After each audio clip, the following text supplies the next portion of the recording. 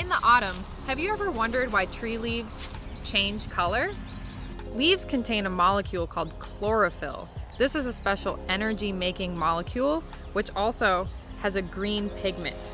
And so this is why leaves are green because during the growing season there's lots and lots of chlorophyll to work on making energy for the tree. In the fall, when the tree is experiencing shorter days and cooler nights, then it starts to get a signal that it's time to go to sleep. And so it starts to pull back the chlorophyll from the tree leaves. And this is what pulls the green out of the leaves. They're doing this to save energy, so they want to take some energy back from the tree leaves to store over the winter. And this is why they start to change color. When the green color is pulled out of leaves along with chlorophyll, you start to see orange and yellow pigments, which have always been in the leaf but were covered up by the green chlorophyll.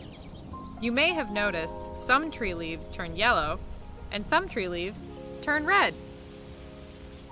The red pigments in tree leaves actually arrive in the fall. So unlike yellows and oranges, which are always in the leaf but covered up by green, red starts to move in when the tree leaves know that it's time to change.